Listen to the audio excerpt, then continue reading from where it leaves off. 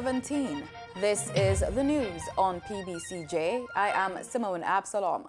The board of Venezuela's oil and gas company, Petróleos de Venezuela, has filed a lawsuit over Jamaica's takeover of the 49% stake in local oil refinery Petrojam. This confirmation came from Foreign Affairs and Foreign Trade Minister Kamina Johnson Smith on Sunday night. Jamaican attorney Michael Hylton, QC, is representing PDVSA Venezuelan opposition leader Juan Guaido, who styles himself as a legitimate president of the country, recently appointed the ad hoc PDVSA board and has asked the Jamaican government to stop the expropriation of the Petrojam refinery. He wrote the Prime Minister Andrew Holness stating that, quote, only the legitimate government of Venezuela under the control of the National Assembly can represent the interest of PDVSA in Jamaica, end quote. However, in response, Minister Johnson Smith replied, quote, the government of Jamaica now owns the shares of Petrojam in its entirety. We passed legislation in order to give this effect, end quote. Jamaica owns 51% of shares in the Petrojam refinery. In February, the Senate passed legislation clearing the way for the government to acquire the 49% stake in the refinery that PDVSA acquired in 2006. In January, Guaido, the leader of Venezuela's opposition-controlled National Assembly, declared himself interim president, arguing that Nicolas Maduro's re-election last year had been illegitimate. Guaido has since been recognized by more than 50 countries, including the United States and most of Latin America. But Maduro retains the loyalty of most of the military and important allies, such as China and Russia. As stated by Prime Minister Andrew Holness earlier this year, the Jamaican government does not recognize Guaido as the interim Venezuelan president, though some 50 nations, include the United States, does. But neither has the government recognized the re-election of Maduro. Guaido's representatives abroad have fought efforts by creditors of Venezuela's highly indebted government to seize foreign assets belonging to PDVSA. Prime Minister Andrew Holness told the House of Representatives in February why the government has moved to buy the Venezuelan stake in the aging Petrojam refinery. The inefficient operations going, then what it would translate into, Mr. Speaker, would be higher prices for fuel, or if the government does want to expose the consumer to higher prices, it would have to subsidize. Inevitably, subsidies or tax breaks would mean that the taxpayers would have to pay more taxes. So whichever way you cut it, keeping an inefficient refinery will cost the taxpayers of Jamaica more. The ultimate results, the ultimate result has been that Jamaica's energy security has been compromised by delay and inaction.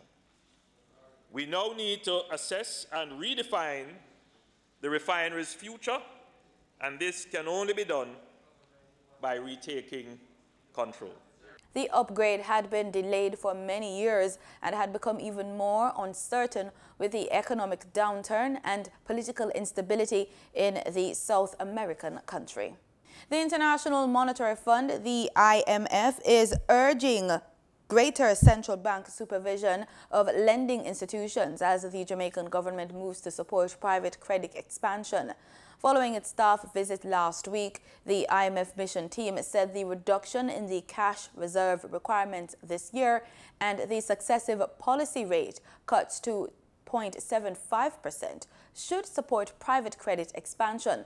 However, it said enhanced central bank supervision and risk management practices at lending institutions can be critical to ensure careful assessment of risks to maintain financial stability. Credit extended to private sector businesses and households grew by 15.2% over the 12 months to March this year, higher than the 13.4% observed at December 2018 and the 13.8% at March 2018. The central bank has been making policy rate cuts to increase the pace of expansion in private sector credit. Vice President of Marketing at the Jamaica Promotions Corporation, JAMPRO, Gabriel Heron, says the Jamaica Diaspora Conference now underway is an excellent opportunity to connect diaspora investors with local businesses. The panel discussion is happening today with the panelists discussing the pathway to economic growth as well as investment opportunities for the diaspora in key sectors such as energy, technology, business process outsourcing, and stock exchange. The discussions are being led by President of JAMPRO, Diane Edwards. Mr. Heron said the diaspora is kept informed through JAMPRO's offices in New York, London and Toronto in terms of projects and particularly export opportunities in Jamaica. Meanwhile, the Vice President of Marketing noted that JAMPRO is looking at developing a platform that will enable and improve the ease at which diaspora members and potential investors can set up and start a business in Jamaica. Outdated cameras installed years ago as part of the rollout of the surveillance project Jamaica Eye will be replaced. Senior Director in the Major Technology Transformation Branch at the Ministry of National Security, Arville Grant, says several cameras were installed in public spaces prior to the launch of Jamaica Eye in March last year. Pointing to May Pen and Mandeville, he said CCTV programs were launched in 2008-2009 and those are being changed in time for the full rollout of the program by September. He informed JIS that there are currently three primary phases of installation with a focus on areas in St. James, St. Catherine, as well as Kingston and St. Andrew. Jamaica Eye is part of an island-wide network of camera surveillance systems designed to increase the safety of all citizens. Prime Minister Andrew Holness says a visa waiver agreement is to be signed implemented between Jamaica and Ghana. Holness said the foreign affairs ministries of both countries have been mandated to negotiate and conclude the agreement. I'm pleased to recall that Jamaica and Ghana have signed an air services agreement, and we discussed today ideas about how to utilize that instrument to advance our goal of deeper engagement. As we endeavor to further deepen the relationship between our peoples and nations. The President and I have mandated our ministers of foreign affairs to negotiate and conclude. And I am happy to say that this has happened very speedily because uh, I will allow the President to give that good news. But the mandate has been effected. President of the Republic of Ghana, Nana Addo Dankwa Akufo-Addo, arrived in the island on the weekend for a two-day official working visit. The statement followed bilateral talks between both leaders. The discussion between the Prime Minister and President also included cooperation in other areas such as mining, sports and culture, as well as tourism, education and training. President Akufo-Addo welcomed what he termed as a step in the rekindling of relations between both countries. We have these historical and cultural ties. We also have the potential of building on those ties important economic relations, trade and commercial relations. And in order for our two countries to get maximum value and benefit from the ties that are between us, it is important that we take advantage of those ties to build these strong economic relations. There are lots of areas of possible engagement that we have talked about this afternoon, and the decision has been made on our, both our parts that the Ghana Jamaica Joint Commission for Cooperation that has been dormant for some time. Is going to be reactivated, hopefully this year, if not as quick as early as possible in the first quarter of next year, so that the various President Akufo-Addo's visit forms part of a Caribbean tour to promote the Year of Return, Ghana 2019, which is a major landmark marketing targeting campaign which targets African American and diaspora markets to mark 400 years of the first enslaved African arriving in Jamestown, Virginia. The Justice Ministry has announced that they will begin to engage Jamaican children as they prepare to roll out the Child Diversion Program island-wide. According to the Justice Ministry, the purpose of this program is to establish a formal framework for dealing with children in conflict with the law throughout the criminal justice process, ensuring that detention or institutionalization is a measure of last resort in accordance with the Convention on the Rights of the Child.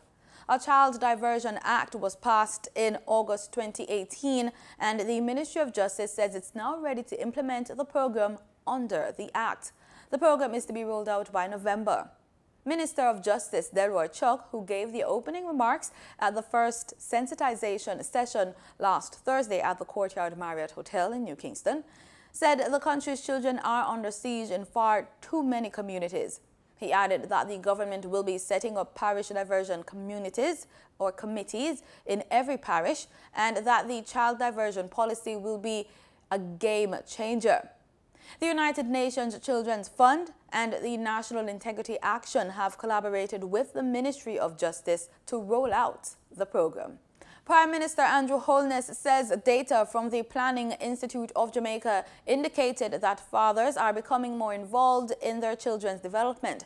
He said this while addressing the Jamaica National Family Day held on the lawns of the Office of the Prime Minister on June 16. The event was held under the theme Furthering Healthy Families with Fathers. Mr. Holness noted that the dynamics of the role played by mothers and fathers in the lives of children are changing in a positive way.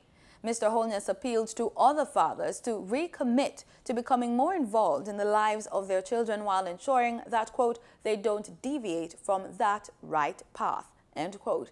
Meanwhile, the Prime Minister said his administration is committed to preserving the institution of the family, quote, as we understood it and our parents understood it. End quote. The event, held under the patronage of the wife of the Prime Minister, Member of Parliament Juliet Holness, saw the participation of some 250 Jamaican families.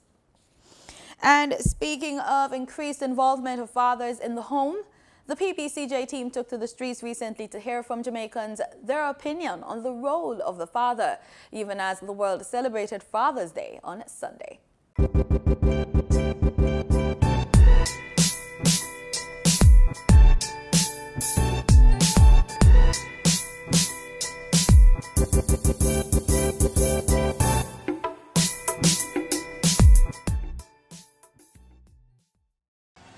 I enjoyed buying her stuff, them um, taking care of her, like playing with her and all those things, you know.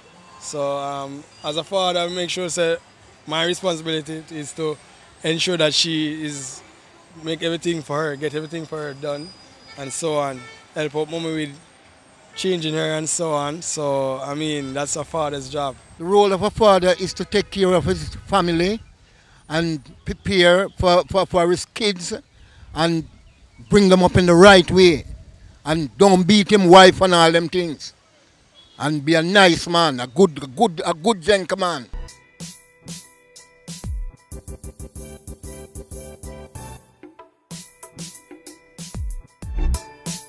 The role of a father is taking care of his children, miss. The role of a father is somebody that look out for your child, take care of your child, be there for your child. When a child needs the most, support your child. Make sure everything is okay about your child.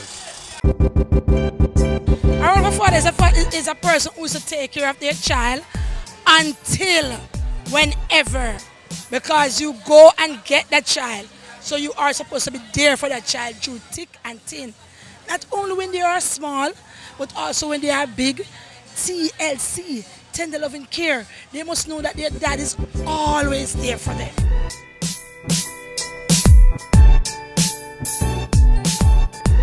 Well, the role of a father, you know, you have to just do what you can do and help what you can help. You understand me? And all the while you have it, uh, it's not a, in a town we sell. So sometimes coffee, sometimes tea. this week you sell something, next week you must sell something. So for you sell something, you can give give it, do what you can do and make the youth feel good. You understand? Without the father, the, the mother can't have baby. So the father, if they but them recognize the father them all the while. So now for big up the father when it come to Father's Day. First of all, yes, a father to play an important role when it comes to them youth. You have someone through the baby mother left them and gone. Them use that and I want to look out for them youth. But you see me, me play a good role in my youth, them life. Me play a mother and father role. Look for them from them a youth, come right up till them big. And now my last youth are 18 year old. I'm still take care of her same way. And when she reach a 100. A lot of things for my youth, you know. You hear that? Example, I mean, send me out of school, me response for graduation, me response for school fee, all these things. So I play a father role, because my, when me was young, my father take care of me, you know. My father do a lot for me. So I do the same back for my kids them. In my opinion, the role of a father, if you just look after him kids them, that's when them grow old, them can look after you back. You understand? Because most youth, you have to really look after them good because at them time, you know, you them not stay one place. But care what you do to them, they still change in time, you know? So like that fam to your youth uh, or the rest of person youth. Just want to come up good at all times.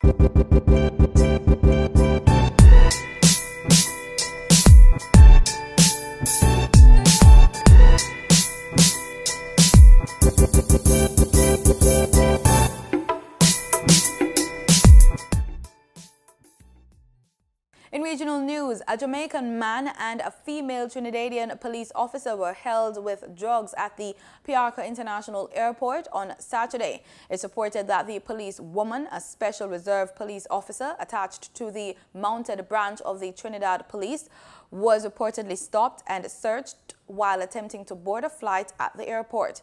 The unidentified Jamaican man was also preparing to board the flight when he was stopped and searched.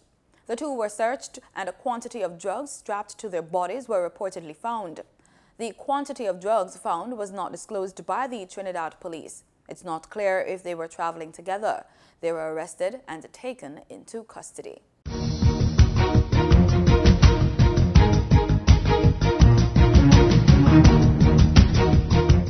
Sports as Jamaica prepares to host the first ever CONCACAF Gold Cup match in the Caribbean.